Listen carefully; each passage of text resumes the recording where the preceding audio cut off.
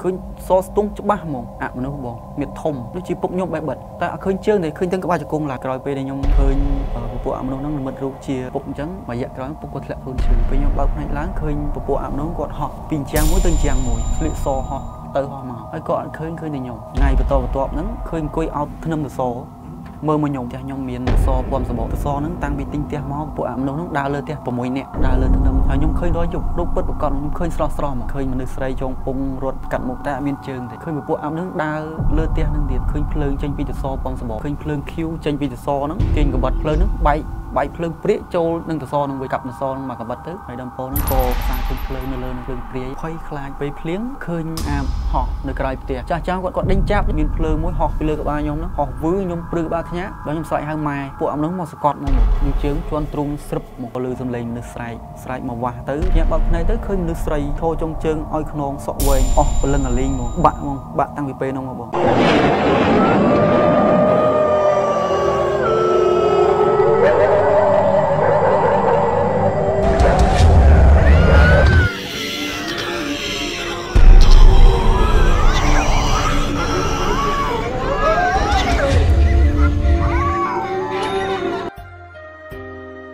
សូមគោរពនឹងជំរាបសួរដល់ពុកម៉ែបងប្អូនលោកយាយលោកតានិងប្រិយមិត្តដែលកំពុងតែតាមដានទស្សនានៅកម្មវិធីរាត្រីរន្ធត់នៅក្នុងសប្តាហ៍នេះយើងជួបគ្នាសាជាថ្មីម្ដងទៀតនៅក្នុងកម្មវិធីរាត្រីរន្ធត់ដែលមានខ្ញុំបាទសេមជំនួសនិងនាងខ្ញុំពីយ៉ាក៏បានវិលត្រឡប់មកជួបពុកម៉ែបងប្អូននិងលោកតាលោកយាយសាជាថ្មីផងដែរចា៎បាទពីយ៉ាយើងកុំសំណេះសំណាលនេះអីដើមកម្មវិធីណាចា៎យើងចូលទៅដល់ក្នុងកម្មវិធីអីចាំលេងមកទំហឹងជាមួយភ្ញៀវកិត្តិយសហ្មងចា៎ បាទប៉ុន្តែមុននឹងយើងជួបជាមួយនឹងភ្ញៀវកិត្តិយសសូមជួបជាមួយនឹងម្ចាស់ឧបត្ថម្ភកម្មវិធីបន្តិចសិនទឹករ៉ែធម្មជាតិបាត់ទុំវ័នពោពេញដោយសារធាតុរ៉ែសំខាន់សំខាន់ការពារសុខភាពឆ្អឹងរក្សាលំនឹងសម្ពាធឈាមនិងកម្រិតជាតិស្ករ pH រហូតដល់7.9ធ្វើឲ្យសុខភាពល្អក្មេងជាងវ័យពីធម្មជាតិទេក៏មកភ្លាមដឹកដល់គេហដ្ឋានភ្លាមក្រុមហ៊ុនសម្បត្តិមរតក Land Real Estate លោកអ្នកគ្រាន់តែទិញដីក្នុង1ឡូនិងទទួលបានប្រាក់ចំណូល800ដុល្លារក្នុងមួយខែចំនួន12ខែ សិប្បកម្មស៊ីងខៀងមានលក់គ្រឿងកញ្ចប់ដូចជាសាច់គោងៀតសាច់ជ្រូកងៀតនិងសាច់មាន់ងៀតដែលមានរសជាតិឆ្ងាញ់ពិសេសនិងជាផលិតផលរបស់ខ្មែរ100%គុណភាពល្អអនាម័យខ្ពស់ការវេចខ្ចប់ប្រកបដោយស្តង់ដារទាំងរសជាតិធម្មតានិងរសជាតិហឹរធានាថាឆ្ងាញ់ឆ្ងាញ់រហូតដល់លឹកដៃទិញ3កញ្ចប់ថែមជូន1កញ្ចប់ដឹកជូនដល់គេហដ្ឋានទាំង25ខេត្តក្រុងផ្សព្វផ្សាយពាណិជ្ជកម្មបង្ហាញផលិតផលសេវាកម្មរបស់លោកអ្នកទៅកាន់លោកទូទាំងប្រទេសបានកម្មវិធីរាត្រីរំជុំមួយខែត្រឹមតែ250ដុល្លារជំរាបសួរបងបាទបាទសួរបាទបង មានឈ្មោះអីដែរខ្ញុំបានឈ្មោះមនធុមកពីត្បូងឃ្មុំមនធុអីបាទបងចឹងហៅអនធុអនធុហ្នឹងណាភ័យមករៀងស្លេកស្លេករៀងភ័យតិចដែរបងភ័យតិចតិចណាបាទអ្នកត្បូងឃ្មុំហ៎បាទបងបាទមួយរយៈនេះជួបខេតប្លែកប្លែកណាពីយ៉ាងចាចាសប្តាហ៍មុនខាងព្រះវិហារណា ព្រះវិហារហ្នឹងយើងអត់ទាន់ច្បាស់រឿងរូបសំណាក់និមិត្តសញ្ញាបាទប្រចាំទីរង្វង់មូលខេត្តហ្នឹងគឺនៅមិនទាន់ច្បាស់ហើយឥឡូវខាងត្បូងឃ្មុំម្ដងតែឥឡូវខេត្តខ្ញុំចាប់ដើមធ្វើតេស្តណាមកតាមខេត្តហ្នឹងទី1សួរតំណាងរូបសំណាក់តំណាងរបស់ទីរំខេត្តហ្នឹងមានអីគេហើយទី2ហ្នឹង នៅក្នុងខេត្តហ្នឹងមានតំបន់ទេសចរអីខ្លះហើយនឹងមានមហូបអីខ្លះឆ្ងាញ់ប្រចាំខេត្តអញ្ចឹងត្រៀមខ្លួនហើយណាត្រៀមវាបងត្រៀមហើយណាអញ្ចឹងបច្ចុប្បន្ននេះធុអ្នកប្រកបមុខរបរអីឬក៏នៅរៀននៅឡើយបានសពថ្ងៃខ្ញុំគឺជាកម្មកររោងចក្របងកម្មកររោងចក្រផ្នែកតុកកាត់ហើយក៏ជាដៃគូដឹកជញ្ជូន delivery ញ៉ាំ24ដែរបងចង់សួរធុថានៅទីរួមខេត្តត្បូងឃ្មុំ មានរូបអីជាសញ្ញាតំណាងរបស់ខេត្ត ខេត្តត្បូងឃ្មុំបាទដូចជាគេអឺអត់តន់ធ្វើទេបងធ្វើអត់តន់ហើយទេអត់តន់ធ្វើទេរងមកធ្វើអត់តន់ហើយទេអូដោយសារតែខេត្តហ្នឹងទើបកាត់ចេញពីខាខេត្តកំពង់ចាមណាបាទបងខេត្តហ្នឹងបង្កើតថ្មីអញ្ចឹងគេកម្រងនឹងធ្វើជានិមិត្តសញ្ញាអីដែរអត់ដឹងផងបងព្រោះអីខ្ញុំអត់សូវនៅផ្ទះហើយហើយតំបន់ទេសចរនៅនៅខេត្តត្បូងឃ្មុំហ្នឹងមានប្រមាណកន្លែងហើយតំបន់ណាខ្លះដែលគេចូលចិត្តទៅ លេងកំសាន្តទី1គឺ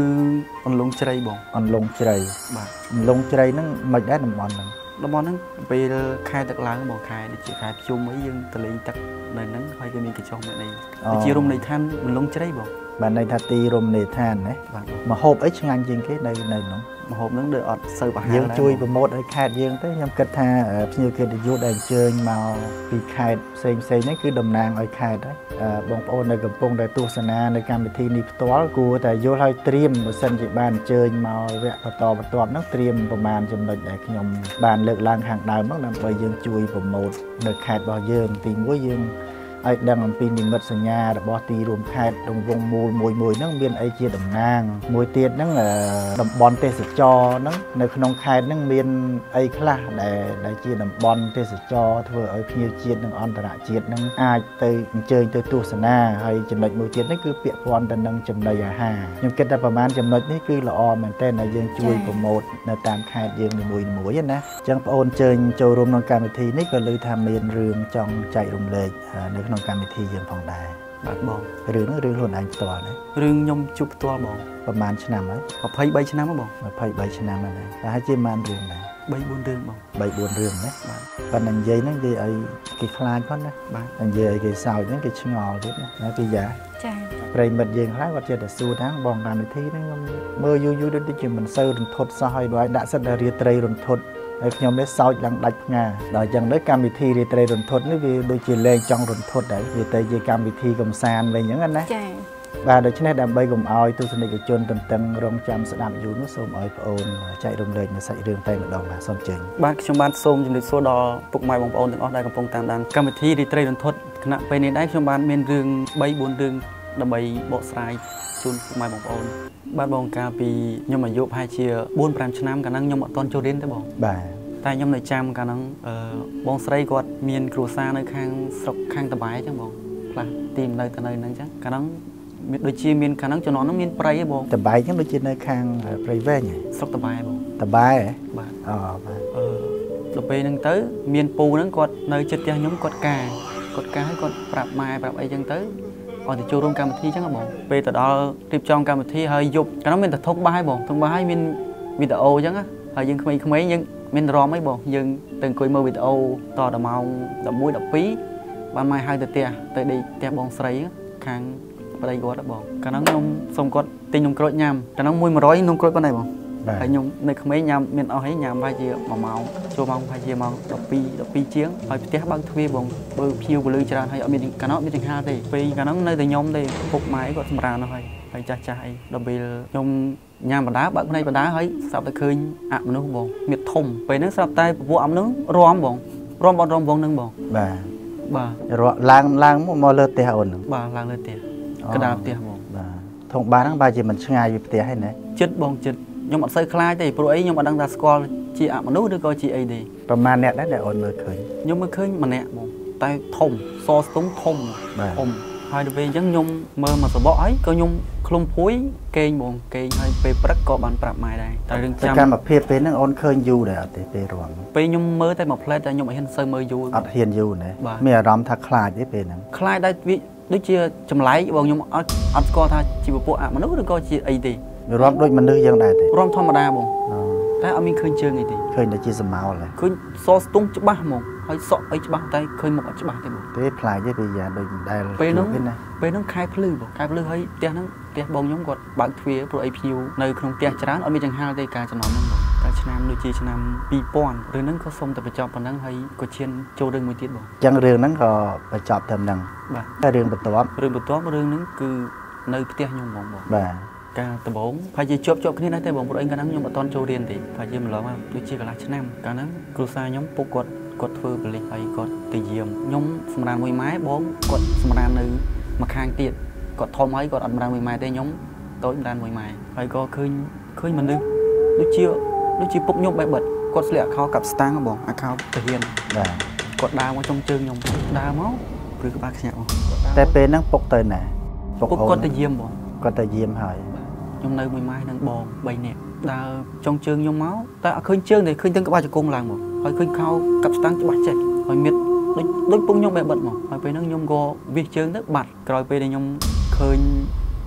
អឺពពួកអមនុស្សហ្នឹងនិមិត្តរូបជាពុកអញ្ចឹងមួយរយៈក្រោយពុកក៏ធ្លាក់ខ្លួនឈឺបងពេលដែលឃើញនៅស្លៀកខោឲ្យគេកាប់ស្តាំងហ្នឹងណាបាត់កាប់ស្តាំងត្រឹមជង្គង់បងអូ តាំងពីពេលហ្នឹងមកគាត់ឈឺគាត់ធ្លាក់ខ្លួនឈឺបងធ្លាក់ខ្លួនឈឺគឺលក់ខ្ទេចលក់ខ្ទីគោក្របីម៉ូតូអីដីអីលក់អស់ជាពាក់គេទៀតមួយរយៈក្រោយមកពេលយប់កាលហ្នឹងពុកនៅដែរបងពេលខ្ញុំបើកភ្នែកឡើងឃើញពពួកអាប់នោះគាត់ហោះពីអញ្ចាំងមួយទៅអញ្ចាំងមួយផ្ទះខ្ញុំតតឹងប្រហែលជា7ម៉ែត្រ7 8បងអញ្ចឹងអឺស្លឹកត្នោតហើយប្រក់ស្បូវកាលចំណគាត់ហោះនឹងហោះរបៀបមិនទៅដូចហោះលេងមកហោះពីអញ្ចាំងមួយទៅអញ្ចាំងមួយហោះលោតដូចសត្វអត់ទេជិះចហោះក់ហ្មងទៅបងតែហោះទៅហោះមកហ្មងហោះវូវូហ្មងបាទស្លៀកសហោះ ទៅហោះមកហោះហោះឡើងក្នុងមកហើយរឿងខ្ញុំបងដូចក្នុងរឿងអញ្ចឹងហោះបាទហើយពុកនឹងម៉ែគាត់សម្រានហ្នឹងហើយហោះទៅលើហ្នឹងហើយក៏អត់ឃើញឃើញតែខ្ញុំថ្ងៃបន្តបន្ទាប់ហ្នឹងឃើញទៀតបងឃើញអង្គុយអោបធ្នឹមសសរមើលមកខ្ញុំតែឃើញមុខអត់ច្បាស់ទេអង្គុយអោបធ្នឹមសសរមើលមកខ្ញុំឃើញព្រាលព្រាលហ៎បាទតែឃើញសស្ទង់ច្បាស់តែមុខហ្នឹងមើលអត់ច្បាស់ទេបងបងអូនសន្និដ្ឋានថាអីដែរជាអមនុស្សបងដឹងថាជាអមនុស្សអាចជាជាជំនាញផ្ទះឬក៏ជាទេវតាមិនមែនជំនាញផ្ទះហើយក៏មិនមែនជាទេវតាទេបងអញ្ចឹងជាអមនុស្ស ព្រោះអីកើតហេតុនៅផ្ទះខ្ញុំច្រើនណាស់បងព្រោះអីផ្ទះខ្ញុំមានអឺសសរពំសបកបងដូចមានរុនណាបងតសពំសម្បកបាទចាស់ចាស់ៗគាត់និយាយចឹងអើរឿងនេះធ្លាប់មានចាស់ចាស់និយាយរឿងហ្នឹងដែរខ្ញុំអត់ខ្ញុំធ្លាប់ច្បាស់ឮដែរប៉ុន្តែអត់ច្បាស់អឺបើសិនជាបងបានដឹងច្បាស់ពីចាស់ចាស់ដំណតគ្នាមកបងអាចបកស្រាយបញ្យល់ចំណុចហ្នឹងបានទេបងម៉ែគាត់និយាយថាសសរពំសបកហ្នឹងមានគេនៅបងអញ្ចឹងបាទចិត្តថាប្រហោងមិញប្រហោងមិនវិញប្រហោងប៉ុនមេដៃអាឡូង ពេលចាក់យូរអីចាក់ហ្នឹងជ្រៅបងជ្រៅចាក់ចូលក្នុងតសហ្នឹងបាទមិនកន្លងចោះទេអត់ទេបងវាអញ្ចឹងបងរុនហ្នឹងតាំងពីកាលម៉ែគាត់និយាយគាត់ថាតសហ្នឹងតាំងពីទិញផ្ទះមកបងអញ្ចឹងមានន័យថាផ្ទះហ្នឹងមិនមែនសាងសង់ខ្លួនឯងទិញស្រាប់ទិញពីគេមកបងទិញមកហើយសាងសង់នៅគាត់គាត់ឃើញហ្នឹងគាត់ក៏មានដូចជាប្រតិកម្មអីក្នុងការផ្លាស់ប្ដូរដែរអញ្ចឹងមានន័យថាម្ដាយបងក៏គាត់បានដឹងដែរថាផ្ទះហ្នឹងមានអីកើតឡើងប៉ុន្តែគាត់អត់ចាប់អារម្មណ៍រឿងថានឹងមានរឿងអីកើតឡើងណោះបាទបង ចឹងរឿងហ្នឹងតែប៉ុណ្្នឹងទេមានទៀតបងមានតែខ្ញុំនិយាយតទៀតបងរឿងមួយទៀតគឺនៅផ្ទះខ្ញុំដដែលបងចា៎ចាប់តាំងពីខ្ញុំដែរដូចថាឃើញពុកហើយខ្ញុំ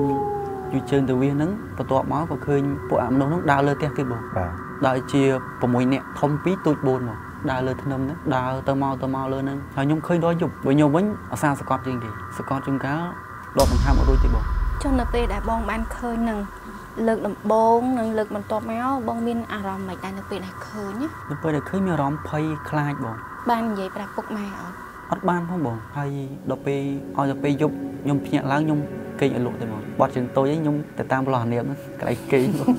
ខ្លាចពេកខ្ញុំស្ដាច់ខ្លាចជាងគេគាត់មករយយប់មកដើរលើធ្នឹមហ្នឹងហើយខ្ញុំដល់ពេលយប់ឡើងខ្ញុំតែភ្ញាក់ហើយខ្ញុំគេងឲ្យលក់ទេព្រោះខ្ញុំខ្លាចដើរហ្នឹងដើរដូចមនុស្សយើងឬក៏មិនដែរដើរជាមួយនឹងធ្នឹមលើផ្ទះបងដើរទៅដើរមកចឹងបាទដើរទៅដើរមកហើយបន្ទាប់ទៀតបាត់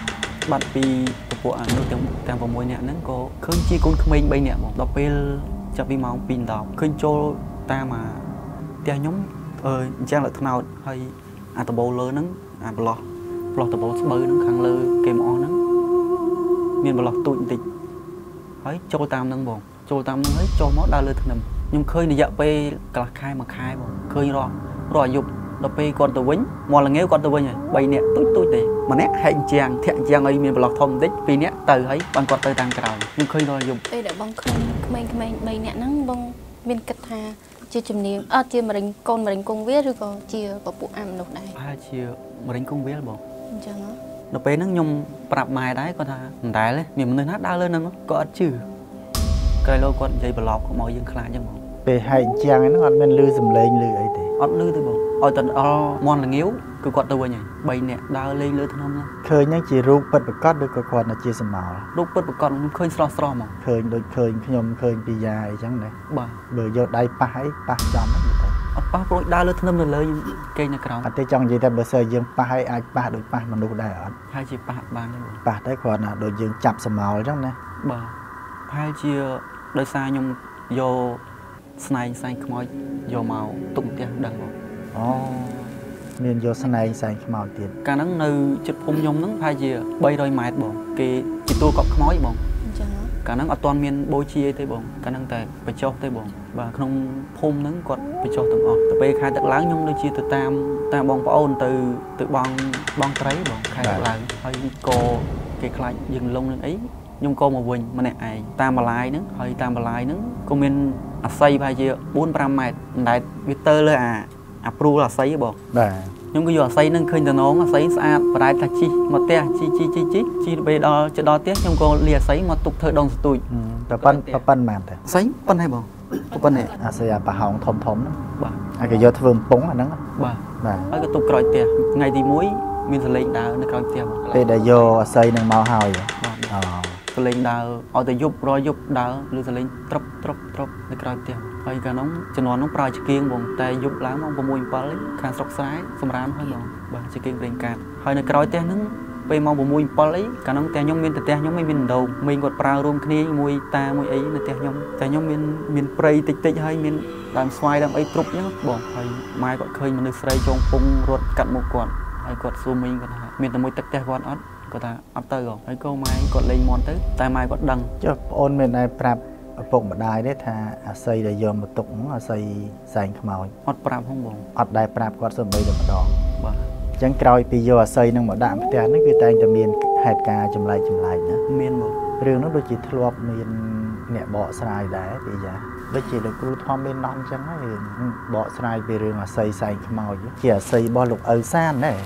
ហ្នឹងហើយដូចជាអាស័យរបស់ លោកឪសានហ្នឹងហើយដែលលោកបានអាស័យសែងខ្មោចអាស័យអាស័យហ្នឹងអាស័យដោះហ៎អឺតាមពិតសាច់រឿងគាត់ល្អណាស់ពីយ៉ាដោយសារតែគាត់អត់សូវប្រកែ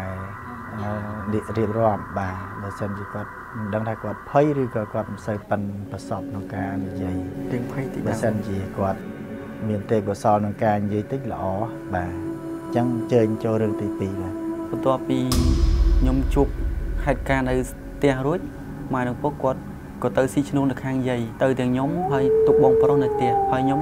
ក៏អថាខ្ញុំលែងបានឃើញពពួកអាប់នោះនៅផ្ទះនេះទៀតខ្ញុំក៏លែងខ្លាចទៀតដែរទៅពេលខ្ញុំទៅទៅនៅផ្ទះយាយខ្ញុំឃើញទៀតឃើញពពួកអាប់នោះដើរលើផ្ទះនឹងទៀតធំផ្ទះដដែលហ្នឹងអត់ទេផ្ទះយាយនៅខាងពញាក្រែកបងខ្ញុំឃើញអញ្ចឹងហើយដើរក្នុងផ្ទះឃើញតែម្ដងហ្នឹងក៏បានទៅរឿងហ្នឹងមានតែប៉ុណ្្នឹងទេបងសុំពេលចដែលប់ឃើញហ្នឹងឃើញដើរនៅលើផ្ទះហ្នឹងនៅមានថ្នាំដែរមែនបងអត់ទេបងដើរលើអានៀបប៉ុន្តែអត់មានជើងទេសស្ទុំបង រូបរាងហ្នឹងបហាក់ប្រហែលនឹងរូបដែលប្អូនឃើញមុនមុនអត់ទេដូចបងដូចអញ្ចឹងអាចនិយាយបានថាប្អូនក៏ជាជើងកប់ម្នាក់ចាសារឃើញអាមនុស្សដើរតាមអីចឹងទៅបាទពេលដែលឃើញអញ្ចឹងអញ្ចឹងហើយក្នុងចិត្តមិនហើយក្នុងចិត្តមានអារម្មណ៍ថាភ័យខ្លាចបងភ័យខ្លាចគេជាមួយម៉ែតអាយុ13 14ឆ្នាំអញ្ចឹងប្អូនមានអីបន្តទៀតអឺទេមានបងបាទបន្ទាប់ពីម៉ែគាត់ទៅរកស៊ីស្រុកស្រុកខាងយាយនៅខាងស្រុកពញាក្រែកគាត់បានត្រឡប់មកវិញហើយក៏គាត់ទៅធ្វើចការមកហើយ យប់មួយនោះខ្ញុំនៅគេងមួយម៉ែ3នាក់បងម៉ែគាត់ឃើញឃើញភ្លើងចេញពីទសប៉ុនសបកបងគាត់ឃើញភ្លើងឃ្យូចេញពីទសហ្នឹងមកអានីលលើតុបងអានីលលេងលើតុហ្នឹងហើយដល់ពេលគាត់ឃើញហើយគាត់ទាញកបិតហើយភ្លើងហ្នឹងបែកបែកភ្លើងព្រាកចូលនឹងទសហ្នឹងវិញបងហើយម៉ែគាត់កាប់ទសហ្នឹងមកកបិតទៅក៏លេងឃើញតាំងពីនោះមកលែងឃើញរហូតមកបងលែងឃើញហ្មង កាប់យកកបិតកាប់ហ៎ម៉ែគាត់យកកបិតកាប់កាប់ហ្នឹងកាប់ចំឡៃរុនតសហ្នឹងហ៎បាទបងភ្លើងហ្នឹងប្រប៉ុនម៉ាន់ដែរភ្លើងប្រព័ន្ធដូចជាក្បាលជង្គង់បងហើយរុនតសទូចមួយមកចូលចុះពេលវាចូលទៅបែកព្រាកមកមកបែកព្រាកបាត់មកអឺឃើញតែជាដុំភ្លើងនេះណាឃើញភ្លើង Q អានីលលើតុហ្នឹងមកអញ្ចឹងបងអូនមានអីបន្តទៀតទេបាទបន្ទាប់ពីពុកគាត់ធ្លាក់ខ្លួនឈឺរួចគាត់គេងនៅក្រោមផ្ទះខ្ញុំមួយម៉ែគេនៅលើហើយពេលហ្នឹងផ្ទះខ្ញុំជិតដើមពោបងដើមពោប្រហែល100ម៉ែត្រដើមពោធំហើយដើមពោហ្នឹងក៏គេអាសាឃើញភ្លើងនៅលើហ្នឹងដែរបងភ្លើងគេហៅថាភ្លើងព្រាយបងបាទបើខាងស្រុកខ្ញុំបើគាត់ឃើញការឡាយនេះគាត់នឹងដឹងហើយថាដើមពោហ្នឹងមានប្រវត្តិអ្វីខ្លះបច្ចៈចឹងជួយទីបញ្កន្ជាលែក់ងតិចទេភូមិស្រុកនៅនៅភូមិពោរងឃុំបញ្ចាមស្រុកត្បូងឃុំខេត្តត្បូងឃ្មុំហ្មងបាទ ពេលហ្នឹងភ្លៀងហ៎បងបាទពេលភ្លៀងឃើញអាបហោះនៅក្រោយផ្ទះឆ្កែដេញដេញខាំហើយចាស់ចាស់គាត់គាត់ដេញចាប់អញ្ចឹងដេញខំអាបហ្នឹងហ៎ឆ្កែដេញខាំអាបហើយចាស់ចាស់គាត់ដេញដែរម៉ោងប្រហែលហើយខ្ទង់ម៉ោង1ម៉ោង2ស្ងាត់ដល់យប់ហ៎ខ្ញុំស្មានថាអាបចេញក្នុងថ្ងៃអត់ទេបងកាលជំនាន់នោះប្រើតែភ្លើងឆ្កៀងស្ងាត់ជំនាន់ចឹងសាច់រឿងអស់ហើយណាបាទសាច់រឿងមានត្រឹមហ្នឹងហើយក៏មានមួយរឿងទៀតបងសូមជឿ បន្ទាប់មកខ្ញុំទៅមើលកន្លការយប់ពេលម៉ោង9 10ទៅពេលយប់ខ្ញុំចុះពីផ្ទះមកខ្ញុំមើលផ្ទះគេទេផ្ទះគេហ្នឹងទល់មកផ្ទះខ្ញុំបងទៅពេលខ្ញុំចុះមកខ្ញុំរត់រត់ហើយមានភ្លើងមួយហោះពីលើក្បាលខ្ញុំហ្នឹងហោះវឺខ្ញុំព្រឺក្បាលខ្ញាក់ដល់ខ្ញុំស្រែកហៅម៉ែហៅម៉ែម៉ែគាត់ឆ្លើយគាត់ថាថៃតែខ្ញុំឃើញភ្លើងគាត់ថាភ្លើងព្រាយចឹងហោះឡើងឃ្យូហោះឡើងលឿនហ្មងបងអញ្ចឹងបងអូនមានអីបន្តទៀតទេសាច់រឿងមានត្រឹមហ្នឹងហើយក៏មានមួយរឿងទៀតបងចាសូមជឿកាលឆ្នាំ2016បង បាទកាលហ្នឹងខ្ញុំអាយុ22ឆ្នាំកាលហ្នឹងខ្ញុំមានគូតដឹងហើយគូតដឹងខ្ញុំគាត់ធ្វើការនៅអឺផ្សារកណាយាហើយកាលហ្នឹងខ្ញុំខ្ញុំដើរខាងម៉ាស៊ីនច្រូតបងច្រូតស្ដែកនៅខាងអឺខេត្តកាចេះខាង105ពេលហ្នឹងខ្ញុំគ្រោះថ្នាក់ចរាចរណ៍ទៅអឺឆ្លោះដៃឆ្លោះដៃខ្ញុំធ្វើការកើតខ្ញុំក៏ទៅលេងគូតដឹងខ្ញុំនៅកណាយាបងពេលថ្ងៃគាត់ទៅធ្វើការអញ្ចឹងខ្ញុំនៅបន្ទប់អ្នកឯងបងពួកអំនោះមកស្កត់មកបងស្កត់យើងពេលបិទភ្នែកយូរជើងជន់ទ្រូងស្រឹបមកហើយលើខាងបងបងគាត់ថាតែថាយើងខ្មោចស្កត់ហ្នឹងគឺជាខាងមួយសាសបងគាត់ថា មានបញ្ហាបេះដូងអីចឹងប៉ុន្តែចំពោះខ្ញុំខ្ញុំជឿថាពួកអមនុស្សព្រោះអីតាំងពីខ្ញុំពីក្មេងខ្ញុំធ្លាប់ខ្មោចសកលធ្លាប់ច្រើនដងចុះនៅពេលដែលខ្មោចសកត់យកជើងមកជន់ពីលើធុងបងហ្នឹងបងមានអឺធ្វើសកម្មភាពអីដែលអាចធ្វើឲ្យខ្លួនឯងកម្រើកបានទេពេលហ្នឹងខ្ញុំរើបងរាល់ដងខ្ញុំគេងបិទទ្វាររហូតហើយសកត់ខ្ញុំរហូតជួនកាលទាញជើងខ្ញុំអីចឹងហើយពេលយប់ក៏ដោយពពេលយប់ជាងកាលខ្ញុំអត់ទាន់គេអញ្ចឹងខ្ញុំក៏សង្ងំចង់ដឹងខ្ញុំជើងមួយជាន់ទៀតជើងជាន់ស្រឹបហើយខ្ញុំក៏រើអត់ចង់រួចក៏ខ្ញុំចាប់ផ្ដើមរើម្រាស់ គាត់អីនៅពេលហ្នឹងដូចជាធ្វើបាបតែខ្ញុំបើប្រពន្ធខ្ញុំគាត់សម្រាមតែឯងដូចជាអត់ដែលអីឃើញអីអត់ដែលបាជួទបអីទេក៏ដូចអត់មានឃើញអីផងខ្ញុំទៅនៅនោះប្រហែលជាមួយខែជាងអញ្ចឹងរហូតហើយយប់មួយនោះយប់មួយនោះភ្លៀងភ្លៀងមកជាម៉ោងបានដល់10 11បងផ្ទះជួលកាលហ្នឹងគេអត់ទាន់បិទភ្លើងទេកន្លែងដែលយើងឡើងកម្មចដាហ្នឹងចាចាបន្ទប់ហ្នឹងគេង3នាក់លើឡាយទើហ្នឹងមានមិត្តភ័ក្តិប្រពន្ធខ្ញុំគាត់គេងលើហ្នឹងហើយខ្ញុំគេងនៅក្រោមជាមួយប្រពន្ធខ្ញុំ ហើយដល់ពេលដែលបន្ទាប់អីយ៉ាងយើងថាដូចជាកើនគេយប់ហ្នឹងពេលខ្ញុំបិទភ្នែកហើយក៏លើសំឡេងមនុស្សស្រែកស្រែកមកវាស់ទៅខ្ញុំក៏ភ្ញាក់ភ្ញាក់បើកភ្នែកទៅឃើញមនុស្សស្រីមនុស្សស្រីឈរចុងជើងឲ្យខ្នងសក់វែងពេលហ្នឹងខ្ញុំថាអស់ពលឹងអាលីងមកនិយាយព្រឺរោមកថាអស់ពលឹងពលឹងអាលីងខ្ញុំចាប់ផ្ដើមដូចជាបាក់ហ្មងបាក់តាំងពីពេលហ្នឹងមកបងមកយប់ហ្នឹងខ្ញុំចាក់រូបមកយប់តភ្លឺបងអារូបយើងអារូបយើងចាក់ហ៎បងចាបាទចាក់តភ្លឺ អត់គេងអត់ហ៊ានគេងបើកភ្លើងចោលចាក់រូបតភ្លឺពេលហ្នឹងខ្ញុំដាស់ប្រពន្ធខ្ញុំដាស់ដាស់ក៏សួរតថៃថាមានទឹកស្រីឈរចុងជើងពេលហ្នឹងក៏ធ្វើឲ្យយើងបាក់ហ៎បងចាបាទអញ្ចឹងអឺរឿងហ្នឹងមានតែប៉ុណ្្នឹងទេបង បាទចឹងអរគុណណាស់សម្រាប់ការចូលរួមចែកម្លែករបស់បងអូនបើទោះជាបាទស្ដាប់ទៅវាមិនសូវជារលូនប៉ុន្តែសាច់រឿងល្អណាពីចាបើសិនជាគាត់ចេះអធិប្បាយឲ្យបានក្បោះក្បាយបន្តិចគឺល្អមែនតើហើយក៏សូមខន្តីអភ័យទោសអំពីសំណាក់ទស្សនិកជនផងដែរបើសិនជាមានចំណុចខ្វះខាតលើសលួសដោយប្រការណាមួយសូមអធិស្ឋានដល់វិធីករវិធីការនេះក៏ដូចជាភ្ញៀវកិត្តិយសផងដែរបាទដូច្នេះកម្មវិធីយើងក៏សូមបញ្ចប់ត្រឹមនេះចុះហើយយើងក៏មិនភ្លេចដល់ម្ចាស់ឧបត្ថម្ភកម្មវិធីផងដែរដែលតែងតែឧបត្ថម្ភនៅកម្មវិធីនេះជារៀងរាល់សប្តាហ៍ទឹករ៉ែធម្មជាតិបាត់ទុំវ័នពោពេញដោយសារធាតុរ៉ែសំខាន់សំខាន់ការពារសុខភាពឆ្អឹងរក្សាលំនឹងសម្ពាធឈាមនិងកម្រិតជាតិស្ករ pH រហូតដល់7.9ធ្វើឲ្យសុខភាពល្អក្មេងជាងវ័យពីធម្មជាតិទេក៏មកព្រៀងដឹកដល់គេហដ្ឋានព្រៀងក្រុមហ៊ុនសម្បត្តិមរតក Land Real Estate លោកអ្នកគ្រាន់តែទិញដីក្នុង1ឡូនិងទទួលបានប្រាក់ចំណូល800ដុល្លារក្នុងមួយខែចំនួន12ខែ សិប្បកម្មស៊ីងគៀងមានលក់គ្រឿងកញ្ចប់ដូចជាសាច់គោងៀតសាច់ជ្រូកងៀតនិងសាច់មាន់ងៀតដែលមានរសជាតិឆ្ងាញ់ពិសេសនិងជាផលិតផលរបស់ខ្មែរ100%គុណភាពល្អអនាម័យខ្ពស់ការវេចខ្ចប់ប្រកបដោយស្តង់ដារទាំងរសជាតិធម្មតានិងរសជាតិហឹរធានាថាឆ្ងាញ់ឆ្ងាញ់រហូតដល់លឹកដៃទិញ3កញ្ចប់ថែមជូន1កញ្ចប់ដឹកជូនដល់គេហដ្ឋានទាំង25ខេត្តក្រុងផ្សព្វផ្សាយពាណិជ្ជកម្មបង្ហាញផលិតផលសេវាកម្មរបស់លោកអ្នកទៅកាន់លោកទូទាំងប្រទេសបានកម្មវិធីរាត្រីរួមទុនមួយខែត្រឹមតែ250ដុល្លារ ជាពាក្យពេចន៍អ្វីដើម្បីថ្លែងអំណរគុណទៅដល់ទស្សនិកជនឬក៏ជូនពរទៅដល់ទស្សនិកជនផងដែរខ្ញុំបាទសូមអរគុណទៅដល់ Studio Diamond Media ដែលបានផ្ដល់កិត្តិយសឲ្យខ្ញុំចែករំលែកនៅសាច់រឿងដែលខ្ញុំបានកើតឡើងកន្លងមកហើយក៏សូមអរគុណដល់ពុកម៉ែបងប្អូនដែលបានទស្សនានៅកម្មវិធី Diamond Media ទាំងអស់គ្នាសូមជូនពរដល់ពុកម៉ែបងប្អូនជួបតែប្រទេសតែសេចក្តីសុខសេចក្តីចម្រើននិងរកស៊ីមានបានគ្រប់ក្រុមគ្រួសារ បាទសូមអរគុណបងអូនណាបាទបាទដូច្នេះកម្មវិធីយើងក៏បានឈានចូលមកដល់ទីបញ្ចប់ហើយប្រសិនបើលោកអ្នកមានរឿងរន្ធត់រន្ធត់ឬក៏ពាក់ព័ន្ធទៅនឹងអាចកំបាំងនៃជំនឿផ្សេងផ្សេងៗលោកអ្នកចង់ចែករំលែកតាមរយៈកម្មវិធីរីត្រីរន្ធត់សូមអញ្ជើញទំនាក់ទំនងមកកាន់ page ផ្លូវការរបស់ Diamond Media បាទបាទសម្រាប់លោកអ្នកដែលមានបំណងចង់ផ្សព្វផ្សាយនៅផលិតផលឬក៏ស្ថាប័នផ្សេងផ្សេងៗក៏អាចធ្វើការទំនាក់ទំនងមកកាន់លេខទូរស័ព្ទឬក៏ឆាតចូលមកកាន់ page Diamond Media បានដូចគ្នាផងដែរចា៎យើងខ្ញុំសូមគោរពជូនពរពុកម៉ែបងប្អូនលោកយាយលោកតានិងប្រិយមិត្តឲ្យជួបតែសំណាងល្អសុបិនល្អគ្រប់គ្រប់គ្នាសម្រាប់ពេលនេះខ្ញុំបាទសេមជំនោនិងនាងខ្ញុំពីយ៉ាសូមអរគុណសូមជម្រាបលារាត្រីសួស្តី ទឹករ៉ែធម្មជាតិបាត់ទុំវ័នពោពេញដោយសារធាតុរ៉ែសំខាន់សំខាន់ការពារសុខភាពឆ្អឹងរក្សាលំនឹងសម្ពាធឈាមនិងកម្រិតជាតិស្ករ pH រហូតដល់7.9ធ្វើឲ្យសុខភាពល្អក្មេងជាងវ័យពីធម្មជាតិទេក៏មកព្រៀងដឹកដល់គេហដ្ឋានព្រៀងក្រុមហ៊ុនសម្បត្តិមរតក Land Real Estate លោកអ្នកគ្រាន់តែទិញដីក្នុង1ឡូនិងទទួលបានប្រាក់ចំណូល800ដុល្លារក្នុងមួយខែចំនួន12ខែ សិប្បកម្មស៊ីងគៀងមានលក់គ្រឿងកញ្ចប់ដូចជាសាច់គោងៀតសាច់ជ្រូកងៀតនិងសាច់មាន់ងៀតដែលមានរសជាតិឆ្ងាញ់ពិសេសនិងជាផលិតផលរបស់ខ្មែរ100%គុណភាពល្អអនាម័យខ្ពស់ការវេចខ្ចប់ប្រកបដោយស្តង់ដារទាំងរសជាតិធម្មតានិងរសជាតិហឹរធានាថាឆ្ងាញ់ឆ្ងាញ់រហូតដល់លឹកដៃទិញ3កញ្ចប់ថែមជូន1កញ្ចប់ដឹកជូនដល់គេហដ្ឋានទាំង25ខេត្តក្រុង